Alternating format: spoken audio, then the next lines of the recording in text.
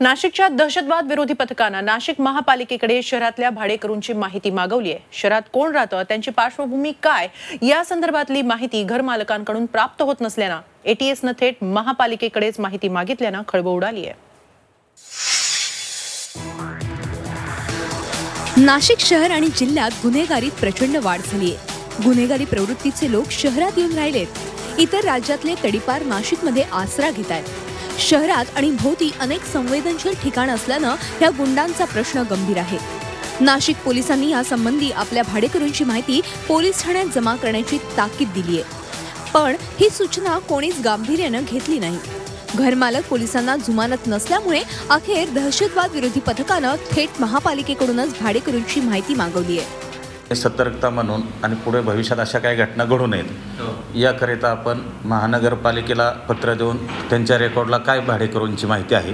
म्हणजे ती आमच्या माध्यमातून पोलीस स्टेशन लेवलला ते चेक करून ते कुठले राहणार आहेत काय ह्याचा डाटा अपडेट होईल ते कुठल्या वृत्तीचे काय काम करत आहे त्यांना कोण ओळखत आहे या दृष्टीने ती माहिती मागितलेली आहे. आम्ही असे आव्हान करतो की कुणी आपल्या परिसरात फ्लॅट बिल्डिंगमध्ये राहायला आलं तर स्वतःहून पोलीस स्टेशनला माहिती केली तर आम्ही पेट्रोलिंग दरम्यान चेक करू तो कुणाकडे राहायला आलेला आहे की कुठं काम करत आहे.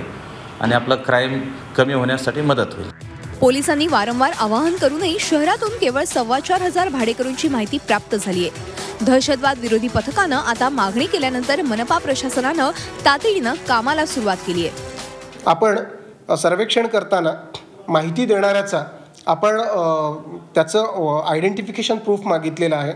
माहिती देणाऱ्याचं आयडेंटिफिकेशन प्रूफमध्ये जे नाव आहे ते नाव आणि आपल्याकडे रेकॉर्डला असलेलं नाव याच्यामध्ये जर तफावत आढळली तर आपण त्याला प्रायमाफेसी भाडेकरू म्हणून ट्रीट करणार आणि तो भाडेकरू नाही हे सिद्ध करण्याची जबाबदारी त्याची असेल आणि याच्यातनं आपल्याला मोठ्या प्रमाणात वस्तुतः जी माहिती आहे ही निश्चितपणाने मिळू शकेल आपल्याला. ज्या घरात भाडेकरू पोट भाडेकरू म्हणून राहतात त्या घरमालकांना महापालिकेकडून अतिरिक्त घरपट्टी पाणीपट्टी लावली जाते.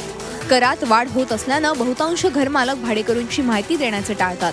कुठलीही खातरजमा न करता केवळ पैसा कमवण्यासाठी घरमालक आपलं घरच गुन्हेगारांच्या ताब्यात देत नाहीत तर शहराची सुरक्षाही धोक्यात घालतायत. मतांच्या राजकारणासाठी शहरातील लोकप्रतिनिधी कुठलीही पडताळणी न करता ओळखीचा आणि रहिवासी दाखला देऊन मोकळे होतात. त्यामुळे एटीएसनं पत्र देऊनही महापालिकेकडून सर्व भाडेकरूंची माहिती मिळेल का? हा प्रश्न कायम आहे. एखादी घटना घडल्यानंतर सरकारी यंत्रणांवर दोषारोप करण्यासाठी साऱ्यांची चढाओढ सुरू असते. मात्र देशाचे हेच नागरिक स्वतःचं कर्तव्य बजावण्यास टाळाटाळ करतात. त्यांच्या याच हलगर्जीपणामुळे एखादा बाका प्रसंग उद्भवू शकतो आणि होत्याचं नव्हतं होतं. त्यामुळे नाशिक शहराच्या सुरक्षेसाठी सर्वांनीच जागरूक होऊन पुढाकार घेण्याची गरज आहे. व्हिडिओ जर्नलिस्ट बबनसह मुकुल कुलकर्णी झी मीडिया नाशिक.